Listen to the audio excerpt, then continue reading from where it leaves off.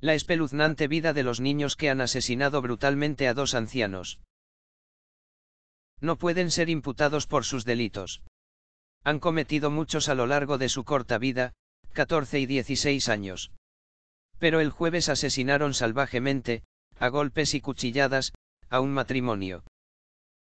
La investigación policial sobre la muerte de dos ancianos de 87 años ocurrida el pasado jueves 18 de enero en su domicilio del barrio bilbaíno de Ocharcoaga ha permitido el arresto de dos menores de 14 años como implicados en el suceso.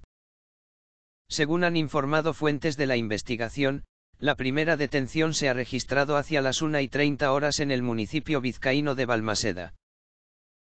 Mientras que el segundo arresto se ha producido en Bilbao hacia las 5 de la tarde y 15. No está previsto que de momento se vayan a realizar más detenciones.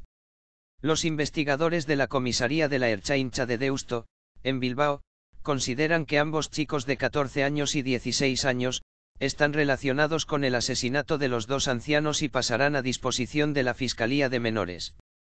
Las mismas fuentes explican que los dos adolescentes arrestados son vecinos del barrio donde ocurrió el doble crimen y de etnia gitana, si bien no tienen relación con el denominado clan de los Pichis, un grupo familiar que ha protagonizado algunos incidentes de convivencia en el barrio de Ollerías de la capital vizcaína.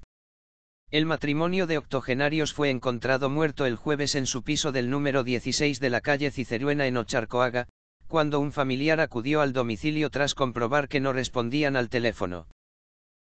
Ambos cuerpos presentaban signos de gran violencia, golpes en la cabeza y varias cuchilladas, y el piso estaba revuelto y con mucha sangre.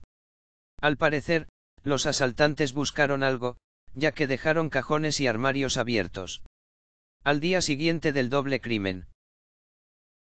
Junto a otros miembros del gobierno municipal, PNV-PSE, y representantes de otros grupos políticos municipales, al acto asistió el alcalde de Bilbao, Juan María Burto, que fue increpado por algunos de los manifestantes. En la marcha se corearon gritos como Aburto dimisión y ayuntamiento, miento, miento.